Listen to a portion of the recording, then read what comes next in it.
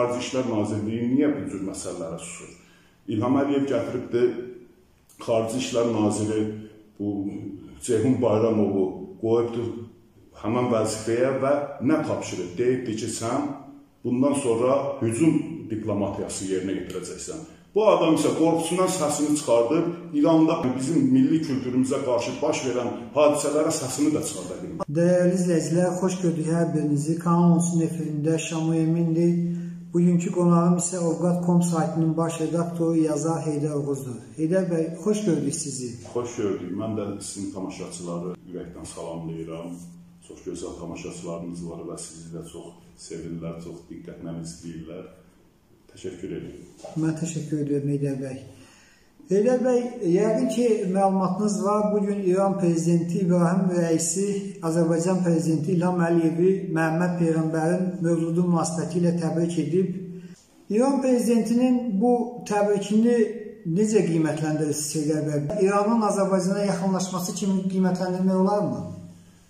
Şamal bəy, əvvəl ondan başlayım ki, İranla Azərbaycan arasında həqiqətən çox ciddi əlaqələr var, çox ciddi yaxınlıqlar var və bu yaxınlıqlar bu günün yaxınlıqları deyil. Min illər boyu bizim bir yaxınlıqlarımız olubdur, eyni ortaq dəyərlərimiz olubdur, eyni tarixə malik olmuşuq, mənəvi, maddi dəyərlərimiz eyni olubdur, biz eyni kültürdən, eyni mədəniyyət sahəsindən gəlməyik. Və sözsüz ki, İranın Azərbaycana yaxınlaşması hər bir Azərbaycanlı kimi də məni də sevindirir. Amma və lakin burada bir neçə məqamlar var. Məsələn, İran prezidenti həmən məktubunda gözəl bir söz deyib. Deyib ki, vəhdət günü münasibəti ilə həm də sizi təbrik edirəm. Yəni vəhdət günü nə deməkdir? Birlik, bərabərlik içərisində olaq, birlik, bərabərlik təmaslarında olaq. Bu gözəl bir addımdır. Amma yenə deyirəm, Bəzi məsələlər vardır ki, sənin məqsədin, sənin niyyətin, özünün atdığın addımlara uyğun olmalıdır. İnsanın sözü ilə əməli eyni olmasa, orada ziddiyyətlər ortaya çıxır. İranın Azərbaycanla yaxınlaşması ki, bu yaxınlaşma, bu addımlar İran tərəfindən atılmalı idi. Çünki biz İrana bir şey eləməmişdik. Biz torpaqlarımızı almışdıq və bu torpaqları İran elan elədi ki, mənim qırmızı cizgimdir, mənim mən şirəm, buyruğum da var, hirsləndirərsiniz, gələrəm sizi işğal edərəm mənasında bir mesaj vermişdiksə, təbii ki, o addımları İran atmalı idi. İran o təşəbbüsdə bulunmalı idi və o birlik, bərabərlik və dostluq əlaqələrinin bərpasında özünün səmimiyyətini ortaya qoymalı idi.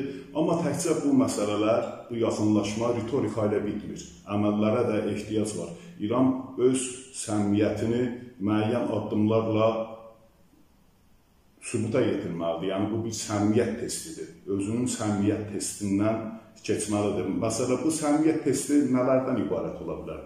İndi soruşa bilərsiniz. Səmimiyyət testi ondan ibarətdir ki, İran bir tərəfdən Azərbaycandan apardığı o mən legionerlər deyirəm, tələbələri aparıb bunda yetişdirib və Azərbaycana qarşı düşmən kimi formalaşdırıb və Azərbaycanın dövlət strukturlarına, dövlət o quruluşuna, konstitusiyon quruluşuna qarşı onları çıxış elətdirir.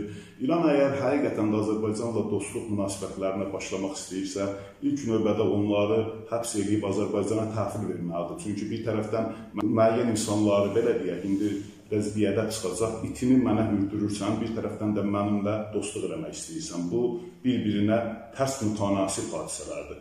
İran əgər həqiqətən də bizlə münasibəti qurmaq istəyirsə, bizimlə münasibətimizi mehriban bir səviyyəyə gətirmək istəyirsə, ilk növbədə onlar bizə təhvil verilməlidir və o siyasətdən əl çəkməlidir. Ondan sonra biz başqa məsələlərə baxa bilərik. Digər tərəfdən İran bizə qarşı bir o səmimiyyət duyğusu içərisindədirsə, bizimlə dostluq münasibətlərini qurmaq istəyirsə, bunun üçün müəyyən bir başqa addımlar da var. Məsələn, bunlar nədir? Bizi birləşdirən çox böyük dəyərlər var. O dəyərlər ətrafında biz birləşə bilərik. O dəyərlər ətrafında biz o bir araya gələ bilərik. Bunlardan biri də odur ki, Cənubi Azərbaycanda kifayət qədər Azərbaycanlı var. Hətta mən deyərdim farslardan daha çoxdur. Onların bəs milli hüquqları olacaq? Bu İbrahim rəisi bizim prezidentə o məktubu göndərdiyi bir zamanda həmən günü Ərdəbildə bir milli fəal həbs olundu. Özü də xanımdır. Adı adı yadından çıxdı, familiyası Siyamidir. Qadın nəyə görə həbs edilib? Özü həmən günü, yəni Ərdəbilə gəlmişdi İranın prezidenti. Oradan Azərbaycana o mesajı göndərir. Üzərindən heç 3 dəqiqə keçmir, 5 dəqiqə keçmir, Siyami xanım həbs olunur. Və niyə bu həbs olunur? Bunun günahı nədir? Bu deyirdi ki, mədrəsələrdə ki, onlarda məktəbə mədrəsə deyirlər, türk dilində dərslər keçirilməlidir. Buna görə insan məhbs edirlər. Yəni əgər biz həqiqətən də dostluq münasibətlərimizi bərpa etmək istəyiriksə, gücləndirmək istəyiriksə, müəyyən dəyərlər vardır. O dəyərlərin ətrafında biz dostluq münasibətlərimizi gücləndirə bilərik də.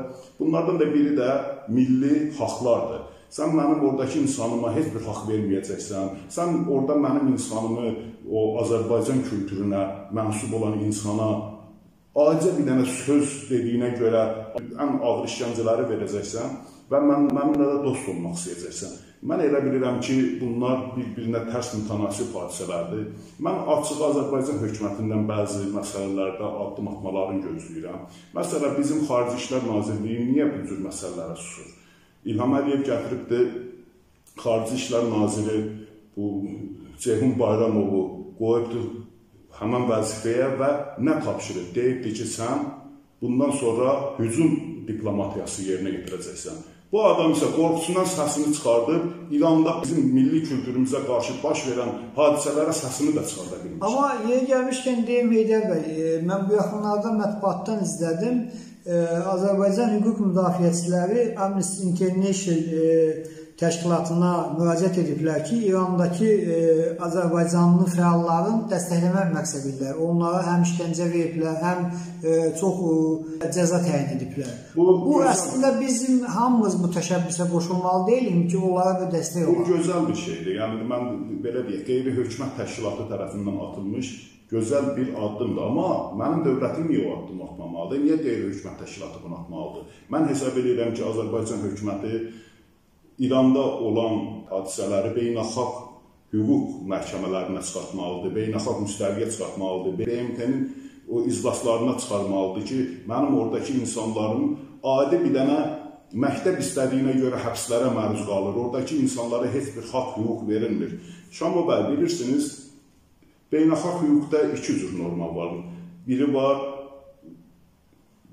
bu mədəniyyətin, deyək ki, məsələ belə deyək, etniklər haqqında deyək. Biri var etnik azlıq, biri də var milli azlıq. Oradakı Azərbaycanlılar biz nə vaxta qədər ki, müstəqil deyildik, SSR-in tərkibində idik, orada Azərbaycan türkləri etnik azlıq hesab olunurdu. Amma biz ki, müstəqilliyimizi elan elədik və biz Azərbaycan mədəniyyətinin təmsilçisi özümüzü hesab elədik, o bu iddia ilə çıxış elədik. İrandakı bizim soydaşlarımız da milli, etnik, milli azlığa çevrildi. Milli azlıqların isə milli hüquqları olur, məktəbləri olur. Bax, görürsüz, siz Gürcüstanlısınız. Gürcüstanda Azərbaycanlıların milli məktəbləri vardı. Niyə? Çünki onlar milli azlıqlardır. O eyni şəkildə Artıq onlar da sıxışdırılır. Onlar sıxışdırılıb, o bizim hökumətin səhvidir. Bizim hökumət həm Gürcüstandakı Azərbaycanlıların məsələsini qaldırmalıdır ki, onlara əgər məktəblər verilməyibsə, onlara milli hüquqları əllərindən alınırsa, həm onların məsələsini qaldırmalıdır, həm də ki, Güney Azərbaycandakı insanların haqlarını qaldırmalıdırlar. Çünki onlar artıq milli azlıqlardır, etnik azlıqlar deyil. Milli azlıqların mütləq milli hüquqları olmalıdır, ondan təmin olunmalıdır. Mən hesab edirəm ki, bu Azərbaycan xarici siyasətinin, Azərbaycan diplomatiyasının zəif nöqtəsidir. Zəifliyidir ki, indiyə qədər bu məsələləri heç arada qaldırmayıb və bundan sonra bunları qaldırmalıdır. Niyə qaldıra bilmir? İran hökumətindənmi qorxur, eyni zamanda Gürcistan hökumətindənmi qorxur ki, hər iki e, ölkədə Azərbaycanlıların hüquqları demək olar pozulur? Bilirsiniz, təbii ki, qorxur. Məsələn, İrandan bu vaxta qədər qorxurdu. Niyə qorxurdu? Burada nə bilim İran nəsə eləyə biləcəyindən qorxurdu. Bilirsiniz, biz ümumiyyətlə bizim xarici siyasət dişsiz bir xarici siyasətdir. Bizim xarici siyasət Azərbaycanın adına, Azərbaycanın böyüklüyünə, Azərbaycanın potensialına yaraşmayan bir xarici siyasət yürüdür, dişsizliyi ilə. Bilirsiniz ki, hər bir dövlət özünün milli kültürünün yayıcısıdır, özünün milli kültürünün müdafiəçisidir, onun haqqının uğrunda çalışmalıdır. Azərbaycanın milli kültürü, Azərbaycanın milli mədəniyyəti Suriyadan tutmuş İraqa, Azər o İrana, Gürcüstana və böyük bir əraziyə yayılmış bir milli kültürdür, milli mədəniyyətdir. Azərbaycan dövləti bu mədəniyyətin qorunmasında mühüm rol oynamalıdır. Necə ki, baxın, ruslar Azərbaycanda bir dənə rus rus olsa, rus deyir ki, o burada minlərlə məktəb aç. Niyə deyir? Çünki onlar milli azlıqlardır. Elə deyək, ona görə deyir. Öz millətinin mənafeyini Bax, bir dənə, bir dənə bizim ölkədə rusların sayı bizim ölkədəki rus məktəblərinin sayından azdır, dəfələrlə azdır. Orada bizim insanlarımız, öz övladlarımız oxuyur. Yəni orada rus oxumur. İndi Azərbaycan niyə bu məsələni İran qarşısına qaldırmamalıdır? Axı onlar milli azlıqlardır, onların öz milli hüquqları vardır. Və İran prezidenti əgər həqiqətən səmimi şəkildə Azərbaycanla mədəni əlaqələrini, diplomatik əlaqələrini, iqtisadi əlaqələrini bərpa etmək istəyirsə, bu istiqamətdə addımlar atmalıdır. Bu da onun səmimiyyət testidir. Səmimiyyət testindən keçməyən bir o ritorika, heç bir əhəmiyyəti olmayan boş bir o belə deyək, cəfəngiyat sözlərdən başqa bir şey deyildir. Maraqlıdır Heydər bəy. Bilirsiniz ki, qarşıdan e, dekabrın 31 gəlir. Həm də bu gün e, həmrəylik günü kimi qeyd edirik. Eyni zamanda bununla bağlı danışılanda həmin gün prezident xalqı təbrik edəndə 50 milyonu təbrik edir. Bəli. Yəni 50 milyon təbrik edirsə, 50 milyonun da e, yer gəlmişkən qarşısına qalmalıyıq. Yəni Sözsüz. bunu öz Bizim- millətimizdən, canımızdan, qanımızdan hesab edirsə. Bizim dövlətin birbaşa məsuliyyətidir. Oradakı Azərbaycanlıların sıxışdırılması, oradakı Azərbaycanlıların başına min cür oyunların gətirilməsi bizim dövlətin qırmızı çizgisidir. Nətər İran deyir ki, sənin torpağın, ki o torpaq mənim torpağım idi. Ermənilərdən işğaldan biz azad eləmişik onu. Hətta onu belə deyir ki, bu mənim qırmızı çizgimdir. Azərbaycan özünün qırmızı çizgisinin nə, nə, nə olduğunu ortaya qoymalıdır və bunu yenə deyirəm, beynəlxalq hüquq normalarına görə çözməlidir. Biz o Şamil bəy, biz o məsələni, öz hüquqlarımızı doğru müdafiə eləsəydik, İran qarşısına doğru qoysaydıq, indi İran deyə bilməzdi ki, o torpaqlar o mənim qırmızı cizgimdir, ermənilərə verilməlidir, mənim quyruğum var, nə bilim nəyim var, bunu deyə bilməzdi. Bizim bu cəsarətsizliyimiz, dişsiz diplomatiyamız İranı və başqa dövlətləri tək İran deyil, hətta ermənilər belə bizə bizə xoş gəlirlər. Niyə? Bax 44 günlük müharibədə yerlə yeksan olublar, yenə bizə xoş gəlirlər. Bəli, yenə səslərini kəsmirlər. Hə, niyə? Çünki bizim diplomatiyamızın dişsiz bir diplomatiya olduğunu bilirlər. O da belə deyir, deyək, İlham Əliyevin, prezidentin əslində mövqeyinə tərs bir hadisədir, belə deyək. Mövqeylə mövqeyinə uyğun olmayan bir hadisədir. Gətiribdi Ceyhun Bayramovu qoyub ora. Ceyhun Bayramovu ora qoyanda deyib ki, sən dip, hücum diplomatiyasını həyata keçirəcəksən, Ceyhun Bayramov da zəhmət çəkməlidir. O onun üzərinə qoyulan o məsuliyyəti dərk eləməlidir və o istiqamətdə də addım atmalıdır. Bunu bacarmırsa, istefa verib getməlidir. Nə var ki, yəni sən bu hər bu fəaliyyəti bacarmırsan da insan biraz etiraf eləməyi də bacarmalıdır. Belə görürəm ki, siz Ceyhun Bayramovun fəaliyyətindən razı deyilsiniz. Təqdir etmirsiniz. Bəli, çünki açığı həmin hücum diplomatiyasını mən görə bilmirəm. Mənim orada Azərbaycanlını götürürlər. Məktəb açılsın deyə həbs atırlar. Azərbaycandan bir dənə səs çıxmır. O dediyiniz kimi qeyri-hökumət təşkilatları, bilim, nəsə, o qeyri-hökumət təşkilatlarının bitməz ki bu iş. Bax Təbrizdə 10 il bundan qabaq, 10 il bundan qabaq bir Azərbaycanlını tutub 25 il həbsə salıblar. 25 il. Adamın yaşı 67 idi həbs olunanda. 25 ildən sonra onun yaşı olacaq, nə qədər olacaq? 80, hardasa 90, 92 yaş olacaq. Yəni 25 ilə qədər o yaşayacaq, yaşamayacaq. Allah kərimdir, yəni bilmək olmaz. Və bunu nəyə görə tutublar? Bax, Bu bədbəxtin günahı nə idi? Bu bədbəxt demişdi ki, mədrəsədə türk dilində tədris olsun. Buna görə adam mı tutarlar? Buna görə laf tutubsan 5 gün, 10 gün iş Sadəcə iş dəhşətdir. Ya iş ver, çıxsın çölə. 25 il insana iş verirlər. 25 il insanı azadlıqdan məhrum edirlər. Ceyhun Bayramovun və yaxud Azərbaycan rəhbərliyinin, Azərbaycan o hakimiyyətinin səsi çıxmır. Niyə səsi çıxmır? Məzlum durumdayıq da. Hə, Ona görə ki, oradakı insanların haqqını müdafiə edə bilmirsə məzlum durumdayıq. Oradakı insanlarımızın məzlumluğu bizim dövlət siyasətimizin məzlumluğundan irəli gəlir. Bu tək onlar üçün deyil ki, bizim özümüzdə baxın. Biz Azərbaycanlılar Rusiyada da ciddi belə deyək, o sıxışdırmalarla qarşılaşırıq. Dünyanın müxtəlif yerlərində eyni vəziyyətdəyik və yaxud Gürcüstan indi siz. Gürcüstanlısınız, Gürcüstanda da eyni vəziyyətdəyik. Dünyanın hər bir yerində Tamam məktəblər gücləşdirdik Gürcüstanda. Bəli. Azərbaycan dilli məktəb qalmır demək olar. Bəli, ona görə ki, bütün bunların hamısı Azərbaycanın yanlış siyasətindən dişsiz diplomatiyasına irəli gəlir və öz özünə hörmət qoymayan dövlətə də, öz vətəndaşına hörmət qoymayan dövlətin vətəndaşına da xarici dövlətlərdə hörmət qoymazlar. Zeynəb bəy, e, mənə bir şey maraqlıdır. Bu İranla Azərbaycan arasında gərginliyin səbəbi məhz bizim bu e, 35-40 milyon əhalimizin orada olmasıdırmı, yoxsa bunun bir iqtisadi tərəfi də varmı? Hər ikisi vardı. Yəni İran açığı biraz çəkinir ki, oradakı burada yəni Azərbaycan güclənər, Türk dünyası arasında əlaqələr yaranar və bu da Cənubi Azərbaycandakı, Güney Azərbaycandakı insanlarımıza təsir eləyər. Bunlar da öz hüquqları uğrunda mübarizəyə qalxarlar və beləcə İran dövləti ya türkləşər, ya da parçalanar. Bu qorxu İranı müəyyən addımlar atmağa məcbur edir bizə qarşı. İkinci bir məqam da var. O bayaq dediyiniz iqtisadi Bəli, elə o məqam maraqlıdır. Bə- Bəli, iqtisadi məqam da var burada. İqtisadi məqam nədən ibarətdir? Bilirsiniz ki, İran böyük bir enerji ölkəsidir. Bəli. İran dünyanın ikinci e, qaz ehtiyatlarına malik, neft ehtiyatlarına malik ölkəsidir. İran bu qazını harasa satmalıdır, bu neftini harasa satmalıdır. Bu neftini satmağın da ən gözəl yolu, ən gözəl bazarı Avropa bazarıdır. Və İran özünün o enerji resurslarını Avropaya nəql eləmək üçün 2011-ci ildə Bəşər Əsədlə bir müqavilə bağladı.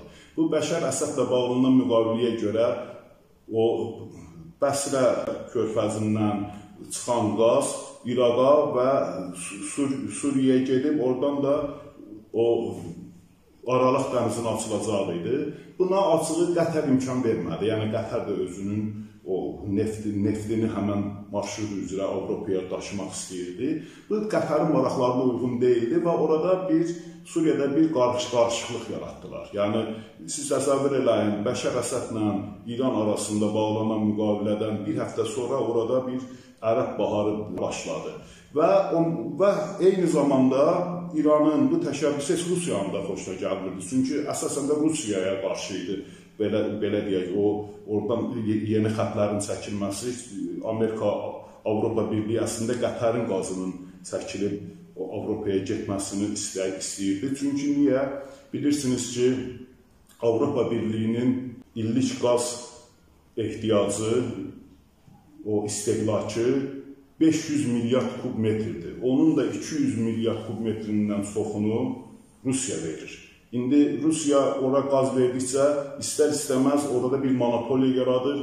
O istədiyi vaxt qaza istədiyi qiyməti qoyur. Bax bu, bu günləri o Avropada qazın qiyməti bir bir kub metrin qiyməti Rekord 1200 1200 1300 dollaradır. Halbuki bir müddət əvvəl belə deyək, bir 3-4 ay bundan qabaq 120 dollar idi Bəli. və yaxud 300 dollar idi. Amma indiki in- indiki halda 1300 dollara qədər bunu yüksəldi və qış yaxınlaşdıqca, yaxınlaşdıqca, soyuqlar düşdükcə bunu daha da yü- yüksəldəcək.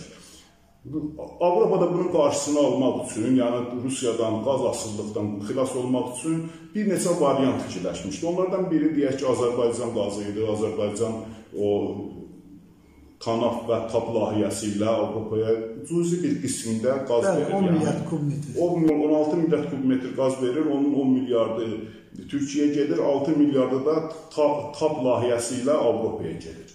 Amma bu kifayət deyildi. Yəni təbii ki, bu o, o boyda, yəni Rusiya 200 milyard kub metr qaz verirsə, bizim bu 6 milyardımız bir damladır 200 kub Cəmi. Avropanın 7 milyon ailəsinə əhatə edir. Bəli, yəni çox az bir miqdardır. Amma Avropanın qazla təmin etmək daha o başqa qaynaqlar qaynaqlarla təmin etmək ehtiyacı yaranmışdı. Bunun da ən gözəl Avropa üçün ən gözəl variantı Qətər nefti idi əslində. Qətərin çünki o Qətərə bunlar özlərinin balaları kimi baxırlar. Yəni Qətərdən qorxmurlar. Balaca bir ölkədir, qəşəng pulu vardır və istədikləri o güzəştdə ondan ala bilirlər. Bu Avropa Birliyi və Amerika 2011-ci ildə Bəşər Əsəddən tələb elədilər ki, bu Qətər neftinin, Qətər daha doğrusu qazının Suriyadan keçib Aralıq dənizinə çıxmasını tələb elədilər. Bu layihə hardan keçəcəkdi? Bu layihə Qətərdən gələcəkdi Səudiyyə Ərəbistanına, Səudiyyə Ərəbistanından keçəcəkdi Yordaniya, Yordaniyadan keçəcəkdi o Suriya, Suriyadan da keçəcəkdi ya Türkiyə vasitəsilə gedəcəkdi Avropaya, ya da ki, Aralıq dənizi vasitəsilə gedəcəkdi Avropaya. İran buna qarşı çıxdı. İran istədi ki, öz qazını versin. Bilirsiniz, Qətərlə İran eyni ərazidə, eyni coğrafiyada yerləşirlər və eyni miqdarda da təxminən qaz ehtiyatlarına malikdirlər. Biri dünyanın üçüncü qaz e, ehtiyatı olan dövlətidir, biri də üçün, ikinci qaz o ehtiyatı olan dövlətidir. Deməli, Bəşər Əsədə Rusiya və İran təzyiq elədi. Rusiya o dediyim kimi bu özünə burada özünə təhlükə görürdü, hesab edirdi ki, bunun qaz strategiyasını çökdürmək üçündür, Avropanın qaz monopoliyasından azad eləmək üçündür. Ona görə qarşı çıxırdı. İran da qarşı çıxırdı. İran həmin vaxt 2011-ci ildə gəldi bu o Əsəd Bəşər Əsədlə müqavilə bağladı və orada hadisələr qızışdı. Qətər orada oradakı sünniləri işidə işidə çevirdi. Yəni işid vasitəsilə başladı. Maliyyələşdirdi. Maliyyələşdirdi və silah da verdi, hər cür təchizatla təmin elədi və başladı o Bəşər Əsədi yıxmağa çalışdı. İran müdaxilə elədi. İran müdaxilə eləməyinə baxmayaraq işid artıq hər şeyi həll edirdi. Gedib az qala bu Dəməşqə qədər çatmışdı, Şama qədər çatmışdı.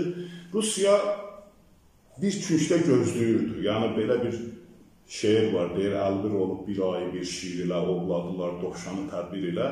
Rusiya fikirləşirdi ki, bu ayı, bu şir bir-birini qırsın, özünü məhv eləsin. Ondan sonra bu gəlib otursun o Suriyada, yəni Suriyada Suriyadan keçəcək həmin layihənin qarşısını alsın.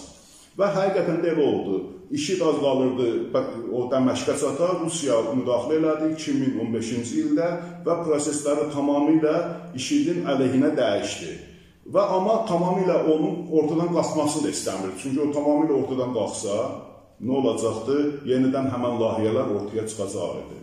İndi burada İranın da iki yüzlü bir siyasət yürütdüyünü biz görürük. Məsələn, baxın, o İranın belə çox qəribə bir siyasəti vardı.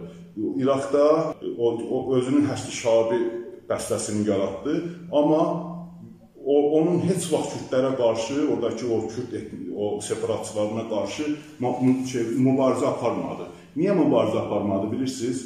Çünki kürd etniklərinin etniklərinin oradakı o kürd separatçılarının əlində İraqın əsas qaz yatağı ordadır.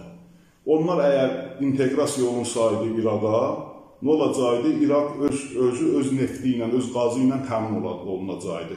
İran o, onlara toxunmadı və orada həştişabı yaratdı və İran İraqı götürdü. Niyə məqsəd nə idi? Öz qazını onlara satsın.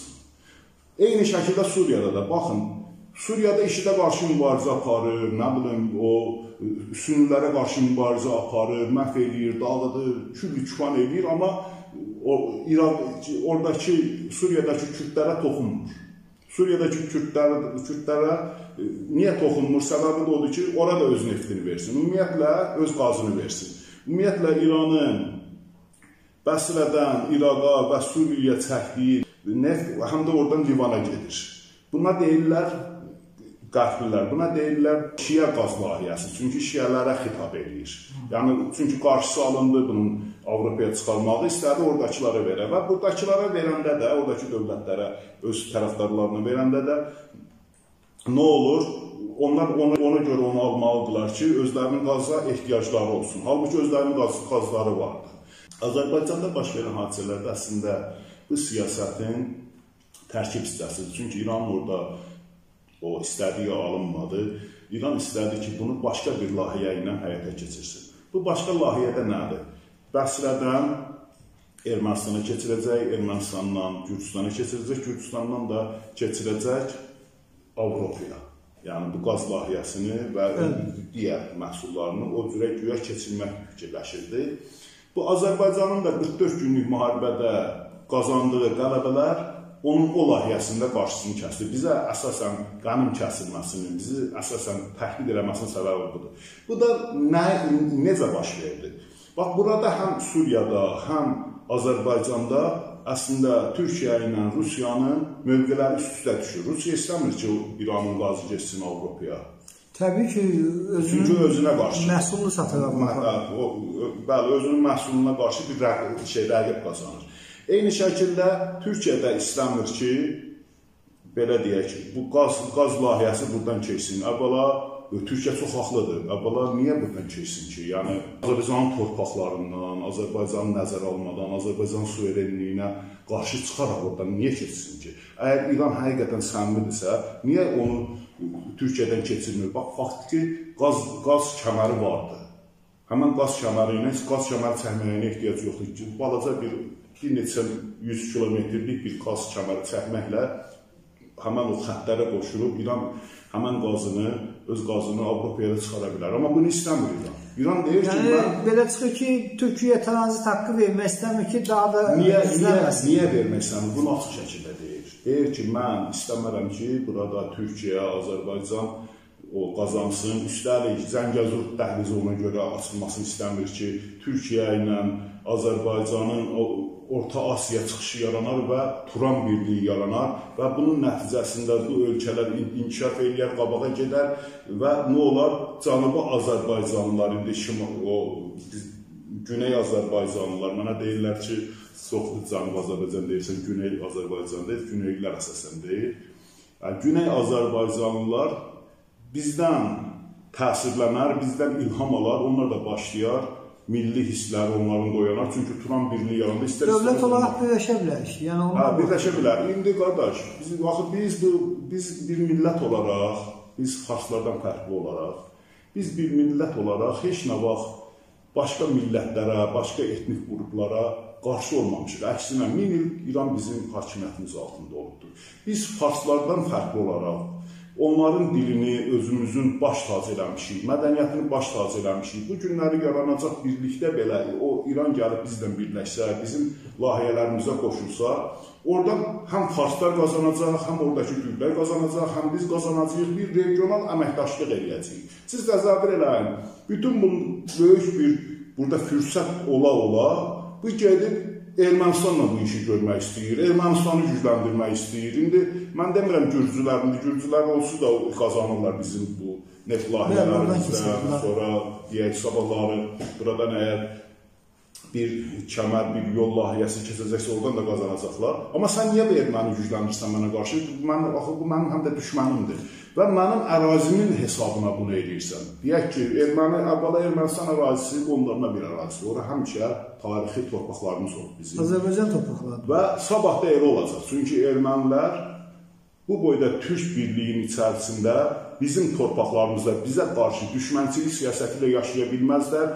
İstər-istəməz bizə inteqrasiya olunmalıdırlar. İnteqrasiya olunanda da ora bizim ərazimizə keçəcək. Mən tarixi baxımdan deyirəm. Mən indiki dövr üçün demirəm. Bir 100 il bundan sonra bəlkə, bəlkə 50 il bundan sonra ora onsuz da bizim ərazimiz olacaq. Sən niyə gedirsən onları qızışdırırsan bizim əleyhimizə? Açıq düşmənçilik mövqeyi yoxdur. Ha, amma axı bizim daha gözəl bizim daha gözəl əməkdaşlıq imkanlarımız var. Birlikdəlik məsələn indi İran prezidenti deyir ki, biz vəhdət günü münasibətilə bizi təbrik edir bizim prezidentimiz. Yəni vəhdət günü münasibətilə təbrik eləmək nə deməkdir? Gəl birlikdə olaq deyir. Bəs biz birlikdə olacağıq, amma sən erməni müdafiə edirsən, mənə mənə düşmən Sözdə siyasətində- birlikdən söhbət gedir. Yəni sadəcə bu ritorika ilə qalmamalıdır. Mənim dediyim odur, Şamal bəy. Bax mən buradan İran o rəsmilərinə də müraciət edirəm. Bunlardan çəkinməyə ehtiyac yoxdur. Yəni biz heç nə vaxt kiminsə haqqını yeməmişik. Biz heç heç vaxt bizim təbələrimizə, belə deyək, indi mən tarix boyu bizim təbələrimiz olub Farsda. Biz o farsları gözümüzün üstündə yaşatmışıq. İndi də gözümüzün üstündə yaşadacağıq.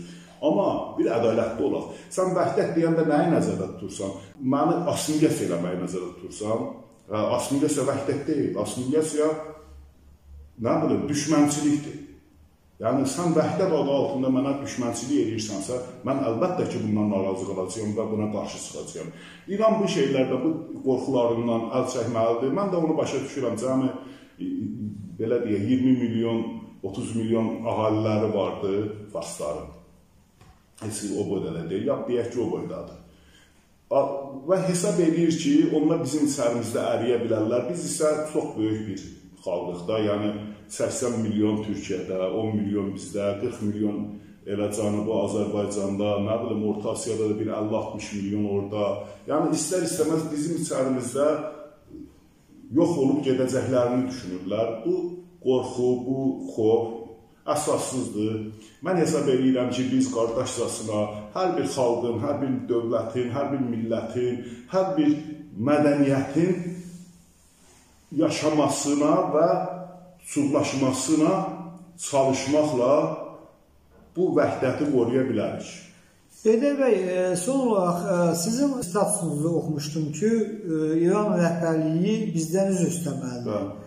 Bilirsiniz ki, bayaq da qeyd elədiniz, İran Azərbaycanı dönə-dönə təhdid elədi, e, e, ali dini rəhbərlərindən tutmuş mollalarına qədər hər biri dönə-dönə təhdid elədi Azərbaycanı. İndi də e, Peyğəmbərin Mövlud günü münasibəti ilə Azərbaycan prezidentinə təbrik ünvanlayır. Yəni bu təhdidlə təbrik bir araya sığmır. Bir araya sığmır. Yəni bu halda bu təhdidə görə üzr istəməlidirmi? Yenə bu fikrinizdə qalırsınızmı? Mən açığı hesab edirəm ki, elə onlar üzr istəyirlər ki, yəni disiplinlərdə üzr istəməyin müxtəlif yolları var. Yəni İran prezidenti o yolla sanki İran əvəzindən üzr istəyir. Yəni siz təsəvvür edin, dini lider Azərbaycan prezidenti haqqında deyir ki, o sionizmin maşasıdır, yəni belə deyir.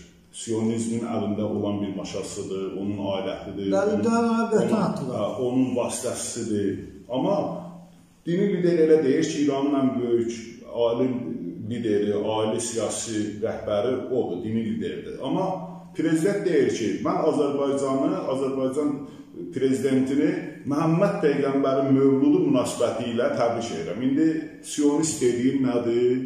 Ki bizə sionist yəni, deyir. Təhdidlə təbrik bir aya sığmır ona görə. Yox, yəni həm də həm də bilirsiniz nətərdir? Məsələ Məhəmməd peyğəmbər kimin müsəlmanı, şey, yəni kimin peyğəmbəridir? Müsəlmanın peyğəmbəridir də. Axı bunun yahudiliklə əlaqəsi yoxdur. Əgər sən bununla bunu təbrik edirsənsə, yəni belə deyək, prezidenti Məhəmməd peyğəmbərin mövludu münasibəti ilə təbrik edirsənsə, deməli dinin liderinin dediyi sionizmin o adamları, əlaltıları ifadəsinin üstündən xətt çəkirsən. Yəni açığı burada bir elə üzrxahlıq var. Yəni bu sözün mahiyyətini durub geniş şəkildə analiz edəndə görürük ki, əslində İran prezidenti öz dini rəhbərinin, İranın dini liderinin sözünü təkzib edərək Azərbaycan prezidentini Məhəmməd Peyğəmbərin mövludu münasibəti ilə təbrik edir. Bu nə deməkdir? Bu onun sözünü inkar eləmək deməkdir. Bu da elə üzrxahlıqdır. Amma yenə deyirəm, tək üzrxahlıq ilə bu belə deyək də nəticə etibarı üzrxahlıqdır. Mən açığı hesab eləmirəm ki, elə o İranın dini lideri dursun televizorda çıxsın desin ki, mən səhv eləmişəm, mən nə eləmişəm. Müəyyən mesajlarla bunu çatdıra bilərlər, çatdırırlar da. Amma hesab edirəm ki, bu üzrxahlığın arxası gəlməlidir. Bu üzrxahlığın səmimiyyət testi olmalıdır. Bax, bayaqları dedim. Sən durub orada o Azərbaycandan apardığın 3-4 dənə adamı mənim üstümə onu mən başqa ifadə də işlətmək istəmirəm. Mənim üstümə qışqırdırsan, bağırdırsan, nə bilim təhdid edir, elətdirirsən məni onlara Bu, bu tərəfdən də dostluq mesajı göndərirsən. Bu bir-birinə tərs mütənasib olan hadisələrdir. Mən hesab edirəm ki, İran onları tutub bizə verməlidir. Bununla da biz dostluq münasibətlərimizi daha da genişləndirə bilərik ki, tək bundan bitmir də. Mən bayaqlar dedim, orada milli haqlar da var ki, onları oturub biz müzakirə edə bilərik. Mən hesab edirəm ki, bu İranın da xeyrinədir. Bilirsiniz necədir Şamil bəy? Əslində türk kimliyi bu gün İran üçün türk kimliyinin qəbul olunması bu, bu gün İran üçün hamıdan daha vacibdir. Bax, Orta Asiya o kimliklə açıla bilər. İndiyə qədər şiəliklə gedirdi. Orta Asiyada şiə, şiə azdır, şiə 5%-dir cəmi Orta Asiya xalqı dövlətlərində. Ən çox Tacikistandadır, orada da 8%-dir. Yəni şiəliklə gedə bilmərsən. Yumşaq güc qazanmaq üçün sən yeni bir kimliyi ortaya qoymalısan. Bu kimliyin də ən gözəl kimlik nədir burada? Milli qüvvələrdir. Baxın, baxın, türk kimliyi ilə sən çox rahatlıqla Orta Asiyada açıla bilərsən, Türkiyədə açıla bilərsən, Azərbaycana da açıla bilərsən. Böyük bir qüvvəni özünün dostuna çevirə bilərsən. Ən azı şimal hissəvi, bax tək bizdən də söhbət gedir, oradan Türkmenistandan söhbət gedir, Orta Asiyadan söhbət gedir. Şimal hissəvi sən bir dosta çevirə bilərsən. Bu gün bilirsiniz ki, o İran hər tərəfdən blokada altındadır. Bütün onun bir dənə dostu yoxdur. Bütün qonşuların hamısı düşməndir. Bir dənə Ermənistan dostu idi ondan. Onun da Rusiya qabağını kəsdi. Heç onunla da bir əlaqəsi olmadı. İndi mən açıq deyirəm, bu Zəngəzur dəhlizini bağlayan biz deyilik, Rusiyadır. Gücü ora çatmır, bizim üstümüzə qışqırır. İndi amma bunun gö ən gözəl variantı nədir? Sən o türk kimliyi ortaya qoyasan, ən azı şimal hissədə tamamilə təhlükəsiz hala gətirəsən və iqtisadi əlaqələr qurasan. Amma İran bunu eləmir. Sanki özü özünü aparır bataqlığa, quyunun dibinə salır. Baxın, bu BMT Təhlükəsizlik Şurasının 4 dövləti və üstəgələk Almaniya dünənləri oturdular, bir müzakirə elədilər İranın o nüvə anlaşmasına sədaqəti haqqında, onu əməl edib etməmək haqqında oturdular, müzakirə elədilər və bu qənaətə gəldilər ki, biz Amerikanın mövqeyinə daha çox yaxınlaşmalıyıq. Bilirsiniz ki, nüvə anlaşmasını 5 o Təhlükəsizlik Şurasının üzvü və üstəlik Almaniya, Almaniya bağlamışdı. İndi onlardan dördü bir araya gəldilər, bəyanat verdilər ki, biz Amerikanın mövqeyinə yaxınlaşırıq. Amerika düz deyir. Amerikada nə deyir? Deyir ki, bundan danışmağın mənası yoxdur, bunu vurmaq lazımdır. Hətta açıq deyir. Deyir ki, hərbi müdaxilə də daxil olmaqla bir çox layihələr həyata, bir çox tədbirlər həyata keçirməliyik. Dünənləri həm də İsrailin baş naziri ilə Putinin görüşü oldu. Oradan çıxan nəticə də oydu. Deyir, orada da qərar bildilər ki, nüvə məsələsini müzakirə eləmişlər. Yəqin ki, bu yaxınlarda da Rusiya da ona razılıq verəcək. Rus artıq bu nə deməkdir? O deməkdir ki, İrana qarşı hərbi əməliyyatlar keçirə bilərlər. Dünənləri yenə bir məlumat yayıldı ki, İsrail özünün neçə il neçə il bundan qabaq belə bir layihəsi var ki, İranın o nüvə obyektlərini bombalamaq onu təxirə salmışdı. Yenidən o, o layihəni həyata keçirmək istəyir və həmən təyyarələrin artıq təlimlərini keçməyə başlayır. Belə bir vəziyyətdədir İran. İran bu təhlükədən özünü xilas etmək üçün Azərbaycanla, Türkiyə ilə Orta Asiya ilə açıq, dostluq, səmimi şəkildə dostluq münasibətlərini qurmalıdır. Əks halda, baxın, bizi sən təhlil edirsən, ermənini müdafiə edirsən, istər-istəməz buradakı Azərbaycanlıların hamısı arzulayır ki, sənin başqa o, o bombalar yaxsın. Çünki sən düşmən tərəfini tutubsan. Axı mənim insanım niyə onu eləməlidir? Mənim insanım niyə elə düşünməlidir? Mənim qapım niyə sənin üzvə bağlı olmalıdır? Axı biz qardaşıq. Mənim 40 milyon əhalim orada yaşayır. Mən o farslar da əslində mənim əhalimdir. Mən o farslara da pis baxmıram. O farslar da bizim insanlar olub da bir yerdə yaşamışıq. Ortaq mədəniyyətlərimiz olubdur. Qız vermişik, qız almışıq. Ortaq taleyli insanlar olmuşuq. Niyə onlar da əziyyət çəkməlidir? Niyə onların başına o bombalar yağmalıdır? Sənin bir dənə boş fas şovinizmin o şey üstündə. Mən elə bilirəm ki, İran bu məsələləri yenidən düşünməlidir və öz siyasətini dəyişməlidir. Ən azı Türkiyəni, Azərbaycanı, Orta Asiyanı qazanmaq xətrinə buna getməlidir. Üstəlik, bu dəqiqə dünyanın gözü Orta Asiyadadır. Bütün dünya deyir ki, dünyanın qəlbi Orta Asiyadır. Çünki orada həm təbii sərvətlər, həm o insan resursları, hər cəhətdən böyük ərazilər, hər cəhətdən istifadəyə yararlı və hələ də əl dəyməmiş yerlərdir. Oralarla niyə sən münasibətləri körləməlisən? Mən elə hesab edirəm ki, İran bu münasibətləri, bu fəaliyyətini düzgün qursa, öz siyasətini dəyişsə, həm özü inkişaf eləyər, həm bu bölgə xalqları inkişaf eləyər, həm də həqiqətən də dostluq, qardaşlıq münasibətləri yaranar. Bunun da yolu yenə deyirəm, özünün o türk kimliyindən istifadə eləməkdir. Çox sağ olun Heydər bəy, təşəkkür edirəm. Sağ olun. Çox sağ olun.